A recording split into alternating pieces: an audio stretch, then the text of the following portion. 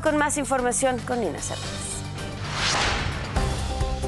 El presidente Andrés Manuel López Obrador visitó el municipio de Palenque, Chiapas, desde donde deseó un buen año 2023 para todos los mexicanos.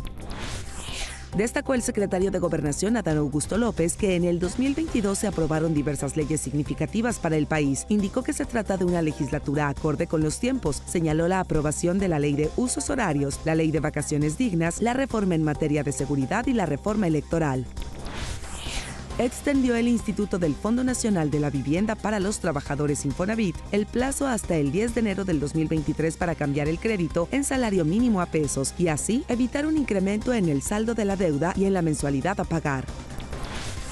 Informó la jefa de gobierno Claudia Sheinbaum que la verbena navideña instalada en el Zócalo de la Ciudad de México desde el 17 de diciembre se extenderá hasta el 6 de enero del 2023. Indicó que la verbena navideña ha contado con 51 actividades artísticas entre pastorelas, conciertos, presentaciones de teatro y danza entró Croacia a la eurozona, una década después de integrarse en la Unión Europea. A medianoche del domingo, los croatas no solo se despidieron del 2022, sino también de su moneda nacional, la cuna, siendo sustituida por el euro. De acuerdo con la Unión Europea, Croacia logró el año pasado cumplir con los requisitos necesarios para adoptar al euro en su sistema económico.